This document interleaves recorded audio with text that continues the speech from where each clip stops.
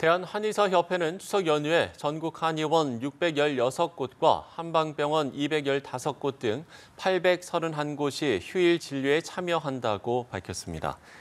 한의협에 따르면 이들 중 한의원 116곳과 한방병원 77곳 등 183곳은 오는 15일 일요일부터 추석 연휴 마지막 날이 18일까지 나흘간 매일 진료합니다. 한의협은 감기와 급체, 장염 등은 한의원, 한방병원에서 빠르게 진료받을 수 있어서 추석 연휴 응급실 부담도 줄일 수 있을 거라고 설명했습니다.